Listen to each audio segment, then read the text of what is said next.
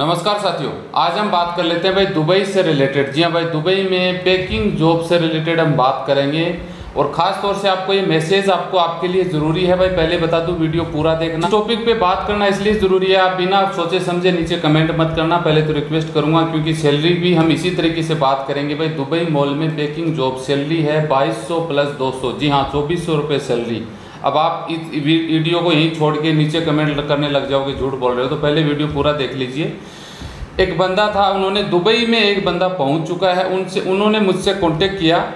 उन्होंने मुझे बताया कि, सर एजेंट ने मुझे ये बताया गया था, दुबई मॉल में पैकिंग का काम रहेगा सैलरी रहेगी 12 घंटे ड्यूटी का 2200 प्लस दो सौ रुपये सैलरी रहेगी। जी हाँ यानी चौबीस सौ रुपये हो गया। और यहाँ से इंडिया से मैं आया था तब एक हज़ार रुपये कोरोना टेस्ट का दिया था और मेडिकल करवाने के दुबई के नाम से मेडिकल मैंने करवाया था। आठ हज़ार रुपये एजेंट ने लिए थे। जी हाँ।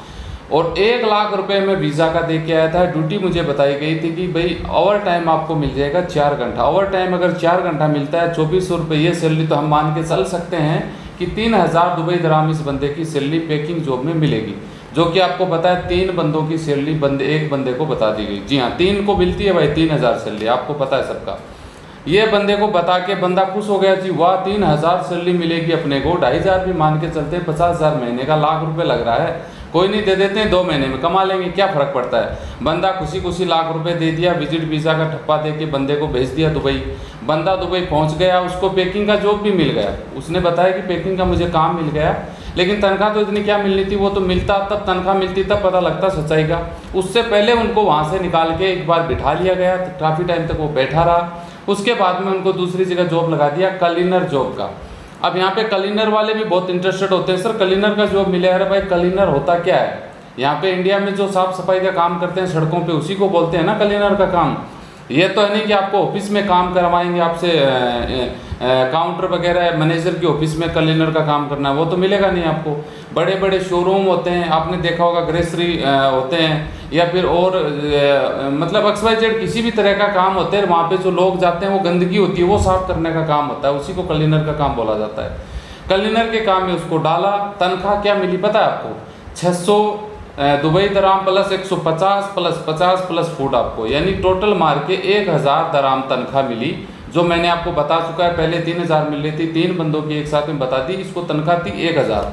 प्लस ड्यूटी बताई गई, बारह घंटे ड्यूटी करोगे, तब एक हज़ार तनख्वाह मिलेगी, खाना एक हज़ार के अंदर ही है। आप समझ सकते हैं जी, पंद्रह हज़ार रुपये टोटल मार के बचेंगे बारह घंटे ड्यूटी के। ये तनख्वाह बता दी। काम बंदे से क्या करवाया गया? जो वीज़ा लगा है, वो क्लीनर का लगा है, बाथरूम, लेटिंग वगैरह, सफ़ाई का काम उसको बता दिया। बंदा बोलता है, मुझे से ये काम नहीं होता है। अब बताओ जी, वीज़ा उसका लग चुका है, मुझे वीज़ा भेजा। अगर वो बोलता है, काम नहीं होता है तो कंपनी बोलती है, लाओ जी, हमारे, हमें पैसे वापस दो जी। पाँच हज़ार खर्च हो गए, छः हज़ार खर्च हो गए, वो वापस देने पड़ेंगे।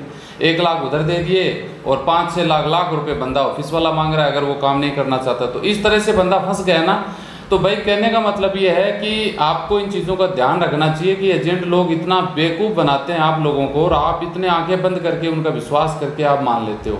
अब विज़िट वीज़ा तीस हज़ार में बंदा दुबई पहुँच जाता है, ये एक लाख रुपए लेके बैठ गया जी, आप ऐसा बहुत सारे लोगों के साथ होता होगा। अब अब बंदा बोलता है, घर आना है छः महीने हुए नहीं कंपनी बोलती है, पैसा दो और एक लेबर सिस्टम में एक और है बात। छः सात आठ महीने काम कर लिया, उसके बावजूद भी कंपनी बोलेगी हम वीज़ा का पैसे लेंगे। बाकी छः महीने बाद आप जॉब क्विट कर सकते हैं जॉब छोड़ सकते हैं।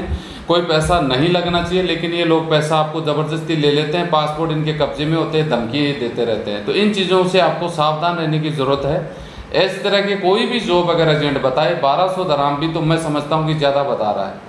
पचास साठ हज़ार का गेम होता है, इतना ही पैसा आपका लगता है, इससे ज़्यादा न दें। और आपको इससे ज़्यादा तनख्वाह बताए तो फेक और उसमें कोई सच्चाई नहीं है। आप ये बात को गांठ बाँध लीजिए। तो सावधान रहिए, सतर्क रहिए, मिलते हैं नेक्स्ट वीडियो में ऐसी जानकारी के साथ। जय हिंद।